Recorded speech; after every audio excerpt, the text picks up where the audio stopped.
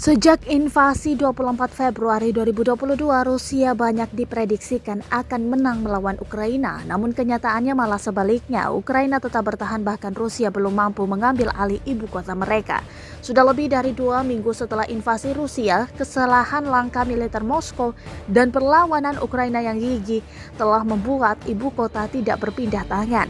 Menteri Luar Negeri Ukraina Dmytro Kuleba menyatakan negaranya terus berdarah-darah tanpa henti. Tetapi, dia menegaskan Ukraina belum jatuh ke tangan Rusia karena perlawanan telah ditunjukkan oleh rakyat Ukraina.